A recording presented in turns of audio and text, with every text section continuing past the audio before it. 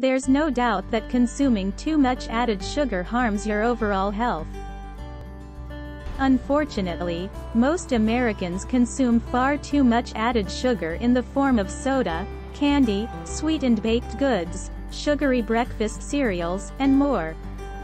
Cutting back on added sugar is important, as excessive consumption is linked to an increased risk of certain health conditions, including fatty liver, type 2 diabetes, and heart disease. To reduce their added sugar intake, some people take part in no sugar challenges. These challenges typically involve cutting out all forms of added sugar for a set amount of time, often 30 days.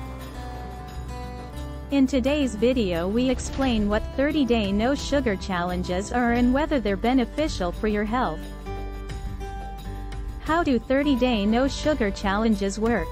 Many types of 30-day no-sugar challenges exist, but most have similar guidelines. The main goal is to cut out all sources of added sugar for 30 days. Instead, you focus on consuming nutrient-dense, whole foods that don't contain added sugars.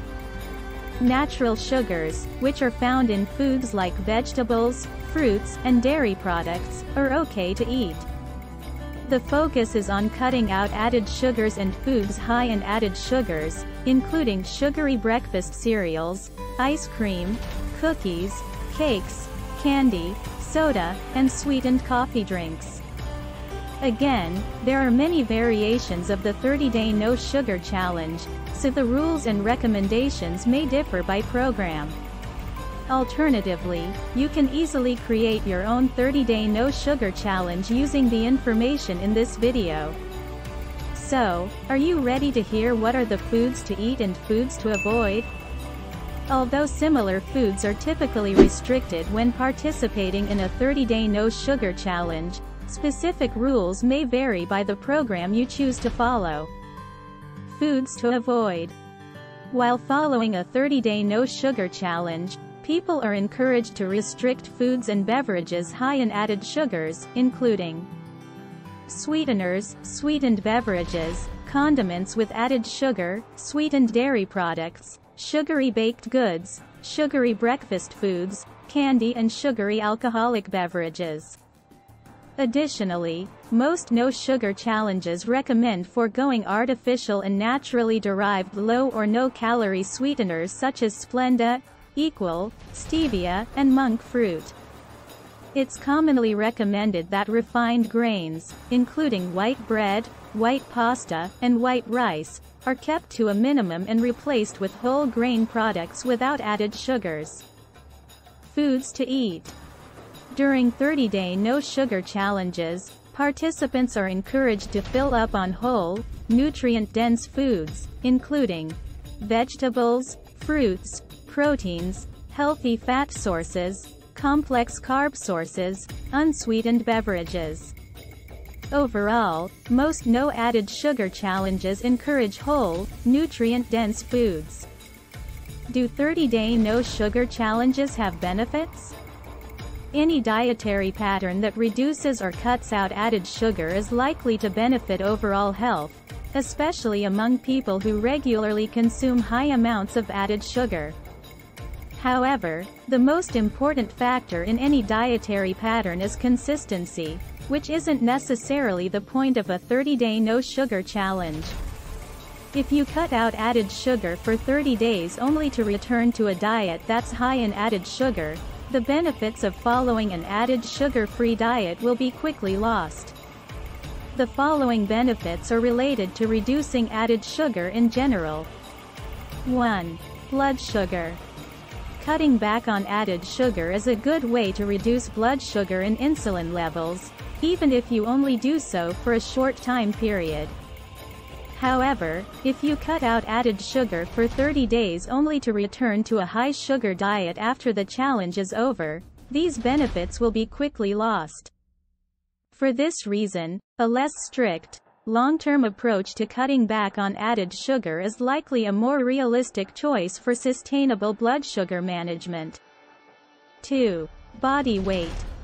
Cutting out sources of added sugar may help you lose weight, especially when paired with a nutrient-dense diet that's high in protein and fiber. 3. Oral health. Added sugar intake is strongly linked to an increased risk of cavities and gum diseases in both children and adults. This is because bacteria in the mouth break down sugar and produce acid that may damage your teeth. Therefore, cutting out added sugar can protect your teeth. 4. Liver health. One study in 47 people found those who drank 34 ounces, 1 liter, of sugar-sweetened soda daily for six months had significantly higher levels of liver fat, visceral fat, and blood triglyceride levels than those who drank the same amount of low-fat milk, diet soda, or water. Based on these findings, it's likely that cutting out sugar, especially foods and beverages sweetened with high fructose corn syrup, is likely to reduce liver fat and improve liver health. 5. Heart health. Sugar-rich diets are linked to heart disease risk factors, including high blood pressure, triglyceride, and LDL, bad, cholesterol levels. Dietary patterns that restrict or reduce added sugar may encourage fat loss, which may also help reduce heart disease risk. Other potential benefits. In addition to these benefits mentioned, participating in a 30-day no-sugar challenge may improve health in other ways.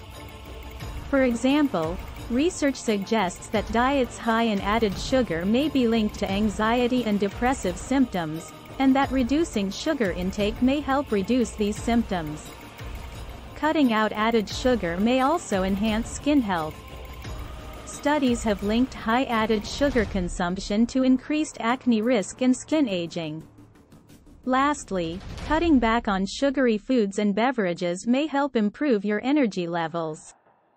Substituting refined foods with foods higher in protein, healthy fats, fiber, vitamins, and minerals is likely to enhance overall health and help you feel more energized. Try it and let me know in the comments below. If you want more videos on health and wellness, click either of the videos on the screen right now and I'll see you in the next one. Stay healthy and subscribe.